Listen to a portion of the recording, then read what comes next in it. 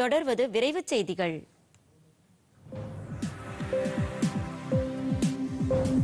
பத்ம விருதுகள் நாரி சக்தி புரஸ்கார் விருதுகள் உள்ளிட்டவற்றுக்கு தகுதியானவர்களை இணையதளம் மூலம் பரிந்துரைக்கலாம் என்று மத்திய அரசு அறிவித்துள்ளது.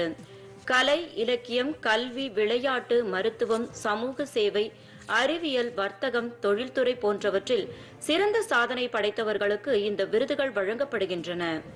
மத்திய அரசின் விருதுகள் வெளிப்படைத்தன்மையுடன் வழங்கப்படுவதை உறுதி செய்யும் ராஷ்டிரிய புரஸ்கார் இணையதள சேவை தொடங்கப்பட்டுள்ள நிலையில் தற்போது மத்திய அரசு இதனை அறிவித்துள்ளது.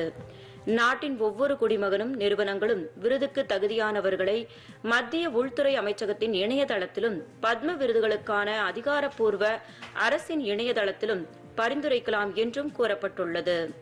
வரும் செப்டம்பர் பதினைந்தாம் தேதி வரை இந்த விருதுகளுக்கு விண்ணப்பிக்கலாம் என்றும் மத்திய அரசு தெரிவித்துள்ளது.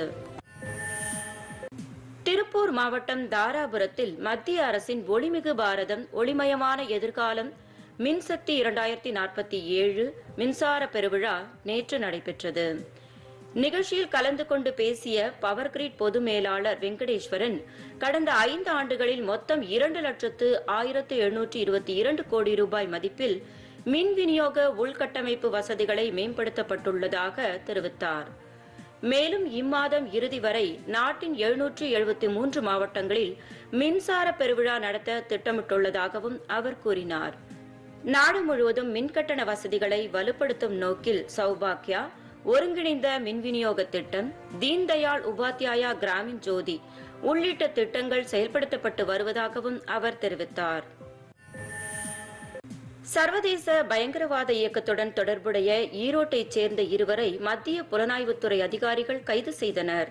புலனாய்வுத்துறைக்கு கிடைத்த தகவலின்படி இருவரின் வீடுகளிலும் சோதனை நடத்தப்பட்டது. இதில் லேப்டாப் உள்ளிட்ட முக்கிய ஆவணங்கள் கைப்பற்றப்பட்டன. விசாரணையில் இருவரும் தடை செய்யப்பட்ட பயங்கரவாத அமைப்பின் உறுப்பினர்களாக இருந்தது உறுதி செய்யப்பட்டதை அடுத்து அவர்களை புலனாய்வுத்துறையினர் கைது செய்தனர். நாட்டில் குரங்கம்மை தொற்று அதிகரித்து வரும் நிலையில் அதற்கான தடுப்பூசிகளை தயாரிக்க தடுப்பூசி உற்பத்தி நிறுவனங்களுக்கு இந்திய மருத்துவ ஆராய்ச்சி கவுன்சில் அழைப்பு விடுத்துள்ளது. குரங்கம்மை நோய் தொற்றை கண்டறியும் கருவிகள் மற்றும் தடுப்பூசி தயாரிப்பு பணிகளை மேற்கொள்ள விரும்பும் நிறுவனங்கள் ஆகஸ்ட் மாதம் பத்தாம் தேதிக்குள் விண்ணப்பிக்கலாம் என்று தெரிவிக்கப்பட்டுள்ளது.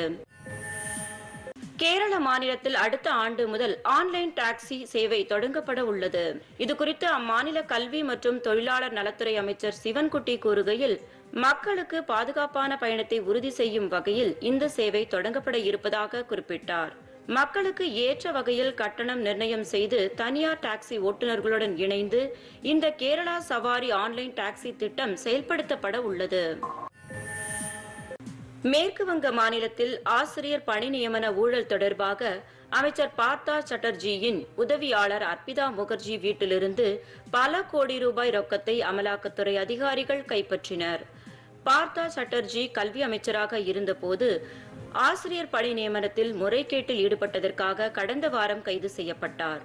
இது தொடர்பாக அமைச்சரின் உதவியாளர் வீட்டில் இரண்டு நாட்களுக்கும் மேலாக அமலாக்கத்துறை அதிகாரிகள் சோதனை நடத்தினர். இதில் பல முக்கிய ஆவணங்களும் இருபதுக்கும் மேற்பட்ட செல்போன்கள் தங்க கட்டிகள் உள்ளிட்டவைகள் கைப்பற்றப்பட்டன.